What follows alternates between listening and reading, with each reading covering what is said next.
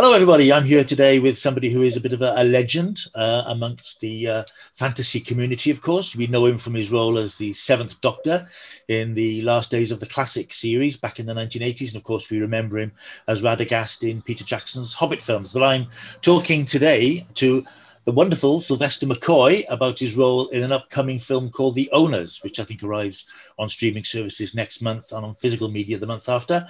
Good afternoon, Sylvester. How do we find you today? Oh, alive! You find me alive. Yes, which, you were just you know, saying you've, you've had your jab. I've had my jab as well, which is uh, yeah, that's nice. positive move. How have you been coping with uh, the last year or so with lockdown? Of course, it's difficult. It restricts your obviously your ability to work and go out and practice your craft. Has that been particularly frustrating, or are you more concerned with the bigger picture, as it were?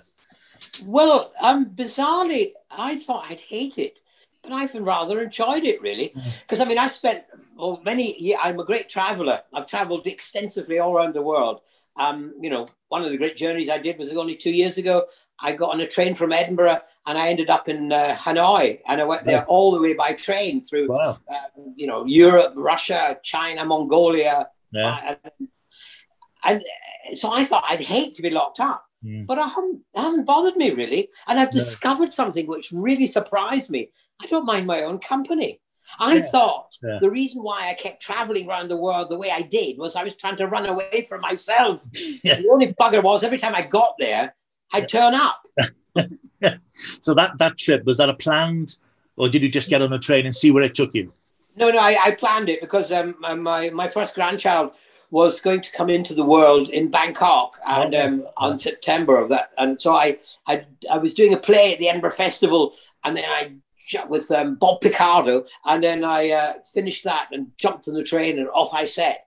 it was six weeks. Wow. Wonderful adventure. That's amazing. But yeah, as you say, all that's stopped at the moment, but hopefully. But it hasn't bothered me. I don't no. mind. I really don't mind. No, no. I'm surprised.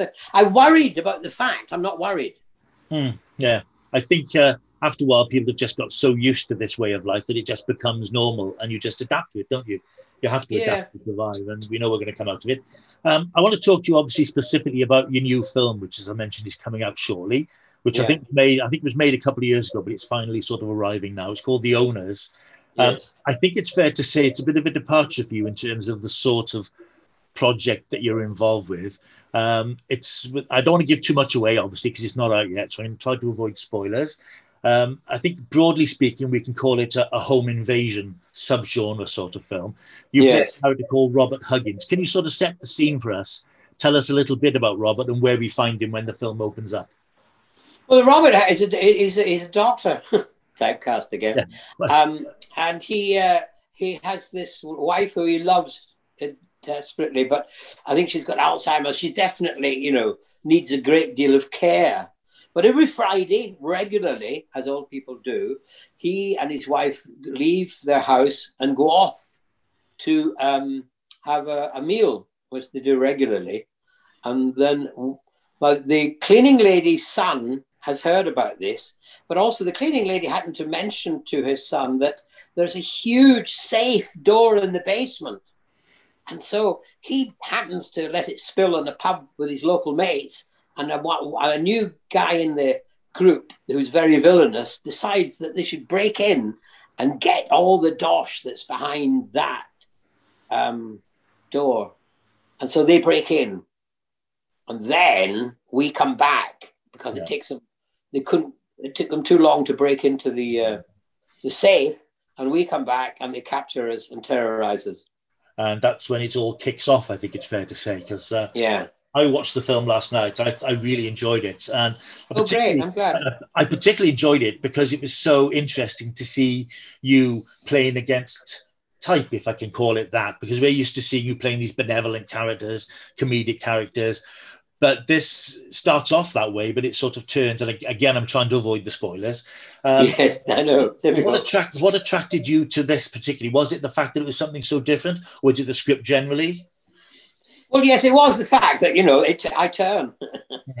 I get to play uh, against, as you say, type. Really, yeah, yeah. yeah. Um, and also, uh, Peter Jackson once said to me, "said You know, Sylvester, you're too nice to be able to play anything bad."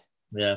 And I wanted to prove to him I could. Yeah, and I like the way that, as I said, you start off playing the victim and yeah. it, it, turns and but even when you're no longer the victim you're still playing it as a nice guy which i think subverts what you're expecting because you're being sinister and dangerous but still playing it as the nice guy and i thought that was a really nice little turn that you sort of you don't dislike the character despite the things he ends up doing yes yes well, that's yeah well, i think that's always the the, uh, the the dream of playing a villain in any film is to try and find that humanity in him.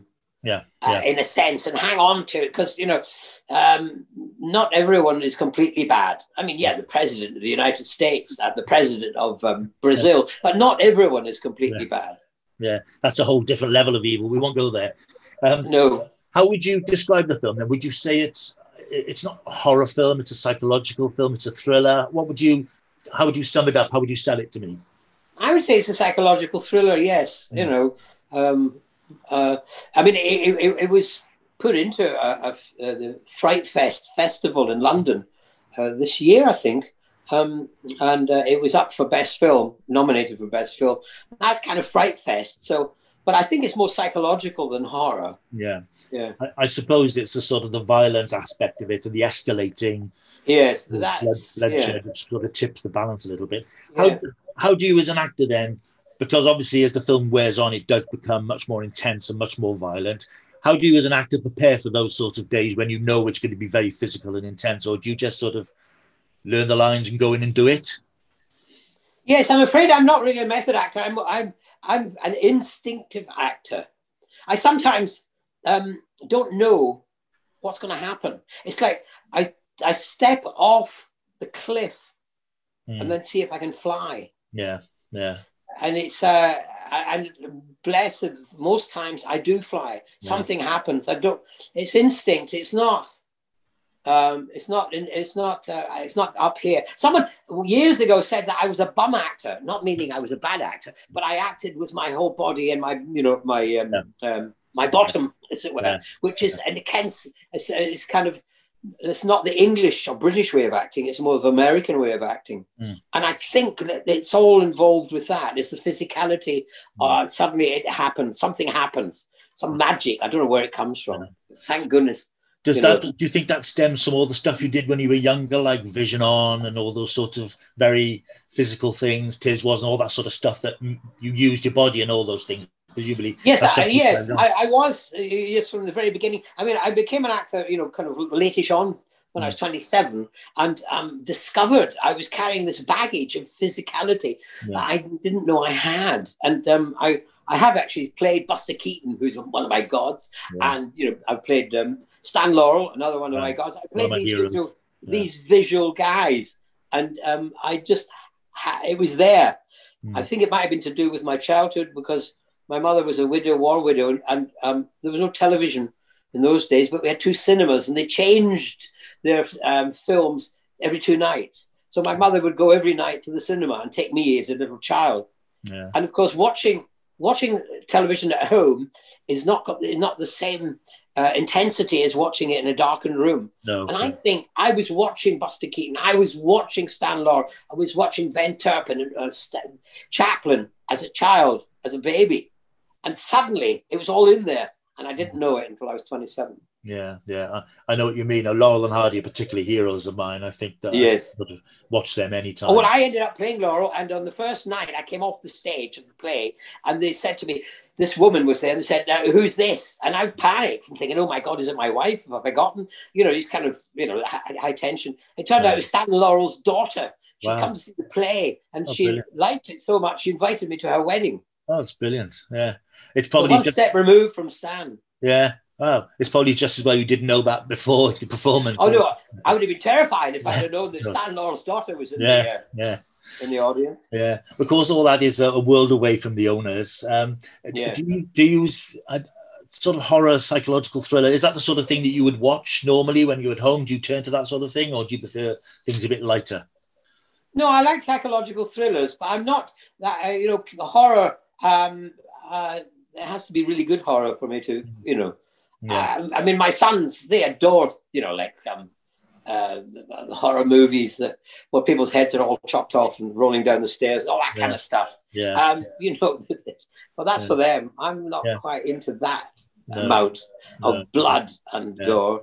Although I have a project coming up with um, now what's his name? Uh, the uh, oh dear, what's his name? He's a he was a rock star, and now he's a, he makes horror films. Um, no, it'll come to me. It'll come to me. Right. Um, Sounds interesting. I just think, yeah, hang on. It'll keep going. It'll pop into my head. Yes, yeah. Um, Rob Zombie, that's it. Of course, of course, yes. Well, of course, we know him well. Yes, his, his stuff's quite extreme. That's that's again an unusual choice for you. Well, yes, but it's uh, as far as I know, it's a, it's a comedy. Um, All right, yeah, yeah. I think there is a sort of a vein of comedy. It's extreme comedy in most of his stuff, really, isn't there? Yeah. Well, this is hopefully. Um, anyway, that the coronavirus has gotten in the way of it. Yes, well, quite. Um, the director of the owners, uh, Julius Berg, I think it was his first English language film. Um, yeah. How did, how did you find working with him? Was he was he a collaborative director? Were you able to pitch in with your ideas? Because I, I, get the impression you're the sort of actor who likes to not exactly improvise, but throw in little ideas and uh, and your own take on things. Was did you have that sort of relationship with him? Yes, yes, no, he was very open to, to, to it as well. But he also he knew what he wanted. Do you know what I mean? Yeah. He, uh, you know, he, he, he yeah, and he would um, he would subtly he, he, would get it. You know, even if you were kind of suggesting something, he would you know eventually um, gently move you around to what he wanted. Yeah. But you know, he wasn't um, against these things. No, no. Um, I want to talk about the cast in the film as well. I mean, you've got uh, Rita Tushingham, who's sort of an iconic figure from the 60s. Had you worked with her before? No, I hadn't. Um, and I must say, it was an utter joy working with her. Yeah. She's from Liverpool. Yeah. Yeah. Say no more. She's got an amazing sense of humor. Yeah. And of course, when you're making these kind of films, in a way, the uh, when you leave the set, um, you tend to go in for comedy. I mean, we became a double act. Yeah. I mean, the, the, the you know the makeup ladies and the wardrobe and, and the technicians look forward to us coming off the set because suddenly we had to release you know that horror uh, and you know kind of um, take it to comedy. Yeah. So I, I adored working out. We, we had such fun. It was yeah. such fun. What I what I particularly like is the again I'm conscious of spoilers. The relationship with you and her, the chemistry was was so intense on the screen because despite the things they end up doing, you really get the sense that he's doing things for her because you mentioned she's not well, she's got Alzheimer's. There's a tragedy in the family in the past, again, which I won't go into too much here. But you get the sense that he will do anything for her because of her condition. No, I mean, I think it is a love story. Yeah, yes, it is. Yeah, yeah. Quite in a way, it's a love story. He yeah. loves her, and he will do anything, as you say. Mm. I mean, um, um, you know, to to to to keep her with him Mm. And if she needs whatever her needs are, yeah, and I won't say what they are. Yeah. yes, quite. amazing. Watch the film, find out. Yes, Maisie, Maisie Williams, of course, she's a sort of an up and coming young talent at the moment. How yeah. was she to How was she to work with? I imagine she was a ball of energy as well. Oh yeah, she was a great ball of energy, and also she she was really uh, she was really in her own in her zone. Yeah. She was in my zone. She was in everyone's zone. She's got such energy. I predict that not only will she be, you know, carry on with a very successful acting career, but I wouldn't be at all surprised if she became a director or yeah. and a producer. Yeah. She's really, you know, she's grown up in the industry yeah. and she knows it inside out. Yeah. She's she's wonderful. Yeah. And I suppose for youngsters in the industry now, it's probably easier for them to cross the, the boundaries into doing directing and writing and things. Perhaps uh, absolutely, because I mean, with the technology we've got, you know, with, yeah. with an iPhone, you could make an, an amazing film. Yeah, you know, absolutely. Or uh, you know, it's it's all it's all that kind of stuff going on. Yeah, yeah, yeah. yeah. yeah. Um, about the the violence and the horror, I mean, I'm, it is quite grim and quite dark. Um, how would you prepare an audience for the film? Would you say to them, uh, prepared to go to some dark places because it certainly touches some uh, difficult visuals, particularly. I'm thinking of the the sort of fights towards the end and things in it, and as it heads towards the climax. How would you sort of sell it to the audience uh, to prepare them for it? Um, uh, be prepared to jump in your seat in mm-hmm. the cinema. Yeah, yeah, yeah, yeah. Absolutely. Really? It's it's a very physical role as well. There's lots of sort of pushing and shoving. And uh, how involved are you in all that sort of stuff? Do you like? Do you still like being involved in all that? So I know you. Yes, yes. No, I mean I've always um, stuntmen always hate working with me because I want to do my own stunts. Yeah. But some, some because of my age and all that now, I can't quite do as many as I I, I, I used to do. So mm. yeah. yeah. Yeah. What was the filming schedule? As I said, I think it was, as I said, it was filmed a couple of years ago, and I imagine it was a obviously you're in a, a, restricted location, so I imagine that you bond with the cast and crew very well over that period. But yes, it was lovely. It was yeah. a lovely atmosphere, and of course the director, you know, uh, he he he creates the atmosphere, and uh, the technicians. I know I enjoyed working with all of them very much, and the, yeah. you know the young uh, the young male actors were um, they yeah. were just you know they were just great. I, when I when I saw the film, you know, for the first time, I um I uh, I, I, was uh, I, uh, the, the, opening is mostly you know the young actors. Yeah, yeah. And I was just so impressed by them. You know, Jake Curran and you know yeah. Ian Kenny and, and, and Andrew Ellis.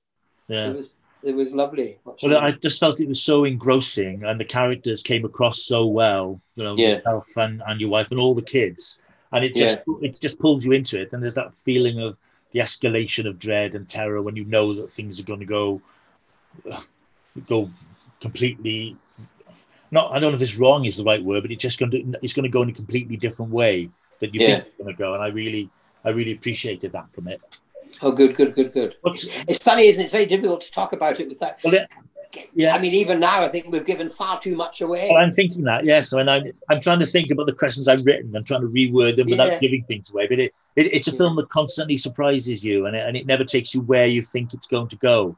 Well, that's, I mean, and that's a great thing uh, storytelling. Yeah. I love storytelling like that. Yeah. I mean, uh, there seems there seems to be a project that you're quite proud of, and not only because it's something different, because you worked out well in the end. You're pleased with the end result. Yes, I am. Yes, I am very much so. I uh, yeah, um, I, I don't like watching myself too much, but um, you know, it, it, was quite fun to watch, see me doing something, you know. Yeah, something so, so totally different. Yeah. Yeah.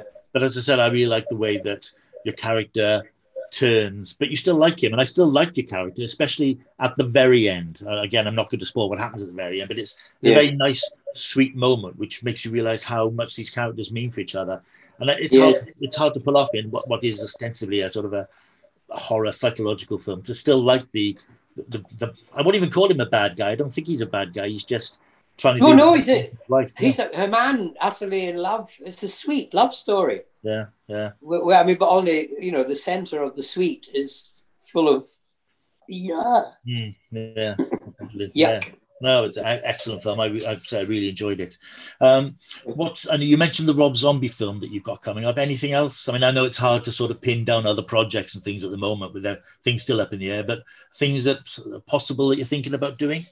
Yeah, there is another thing which is um, a, a, short film uh, coming up. Uh, hopefully, if it all works out, because we don't know every no. day it changes. But um, I, I, hope to be doing that, and it's um, young filmmakers and the story is uh, uh, a young lady's written this really touching story about uh, you know um, a man walking in, with death, you know, in, in the company of the uh, Grim Reaper. Yeah, and it's it's a sweet and lovely story, really. Yeah. Hopefully, um, uh, we can make that. Yeah.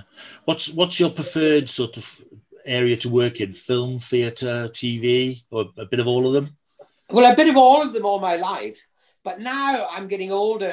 The theatre work is very.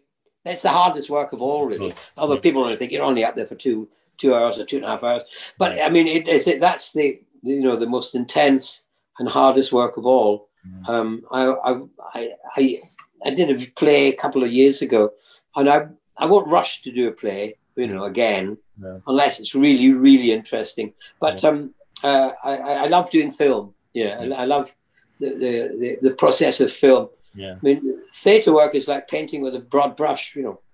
Mm. Got to be big and hit the back wall, whereas film is like one of those little Japanese brushes, you know, you paint.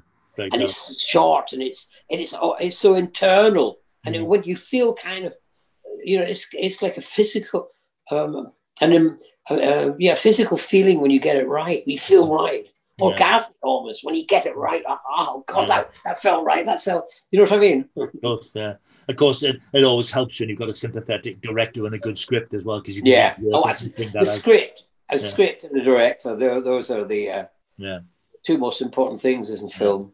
Um, what was the experience like of uh, working with Peter Jackson on the the Hobbit films? That must have been an extraordinary experience. It was yes, it was. It was out of this world. It was, uh, in fact, it was the other side of the world. Yes. It was amazing. It was really amazing experience. And and working in New Zealand, away from Hollywood and away from Britain and all that, yeah. you were cut off from the rest of the world, and you could focus on it and get on with it. Mm. And um, I think Peter Jackson, incredibly wise in so many ways, um, he decided to keep it, keep make not go to Hollywood and make it there, but make it in because yeah. the producers, the executive producers in Hollywood, they were it would take 14 hours to fly all the way there to find out what was going on. So he could yeah. just go on and do what he wants to do. Yeah. And that was very canny of him. Also, he was he he cast it beautifully. Um, he realized that for three years he was going to have to have most of these actors kept together. So he cast it with really nice people. Yeah. You know.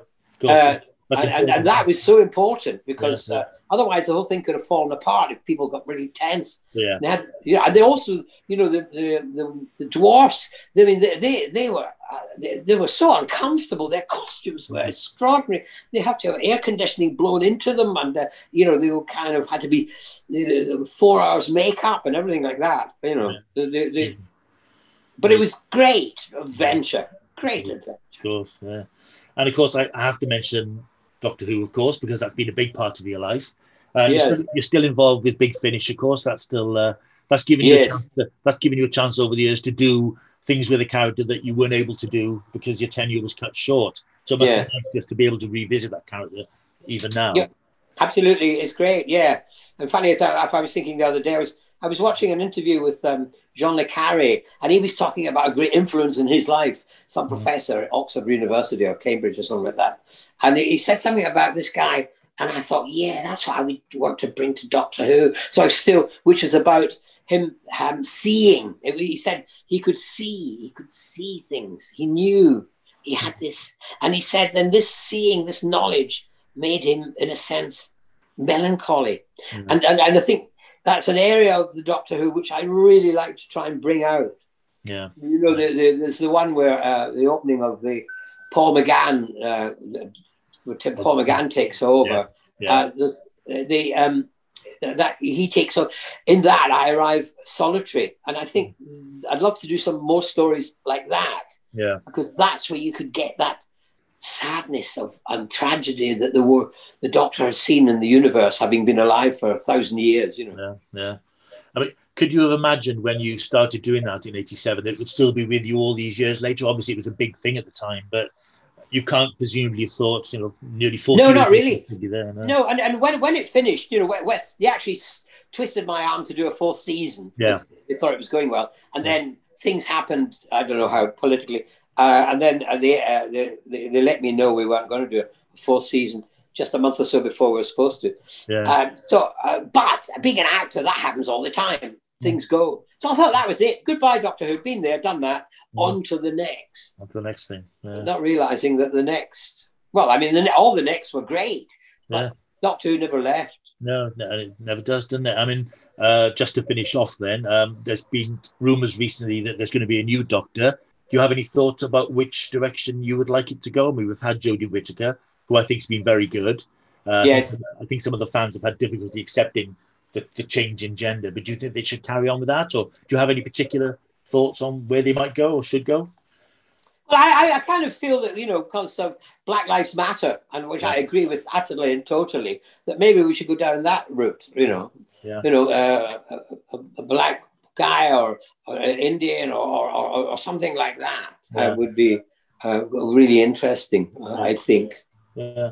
I think it's about getting the right actor, really, the best person at the audition or the best person who. And the right scripts. Yeah, and the right scripts, of course. Yeah, yeah. I mean, that is you know, so that's important. The, that's the main thing, isn't it? Yeah. Um, yeah. Well, once again, it's been fantastic chatting to you. Um, again, congratulations on the owners. Best of luck with it. I know, I know it's Thank difficult you. these days because the cinemas aren't open to show it, but I would yeah. encourage people to seek it out because it's uh, it's not what you expect, and it's, it's certainly not what people would expect from you. So we're in the pub, and Big Man Terry tells us there's a nice big old house, and the nice old owners are going to be out. Keep a lookout, babe. Open fucking sesame. There is a ton of cash in we wait till they get back. They give us what we want.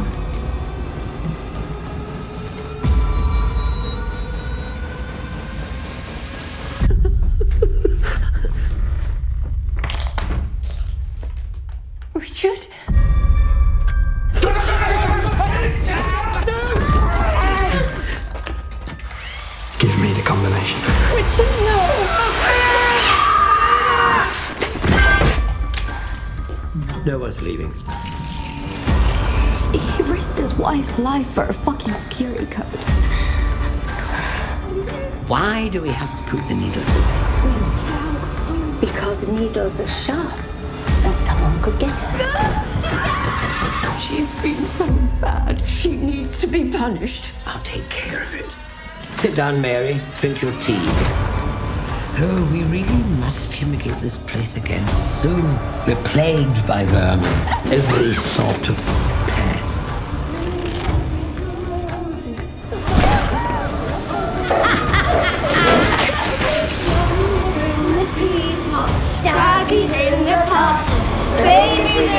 Doggies in